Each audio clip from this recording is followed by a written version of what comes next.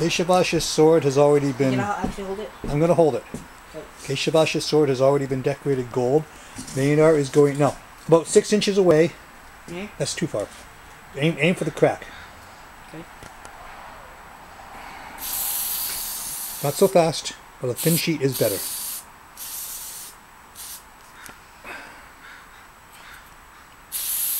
No, you're going much too fast. Slow down.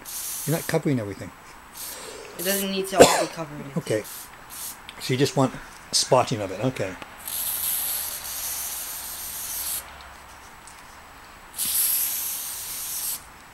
You done? Yeah. Put the cap on.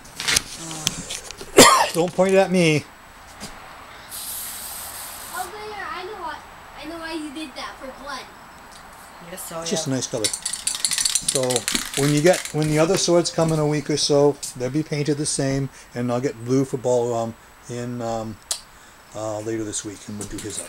Alright. And then when it comes to practice time, I don't want people whining I have a bad sword because nobody's got a bad sword anymore.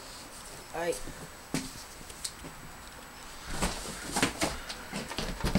Hey, Keshavasha. Yeah? Howdy, bud.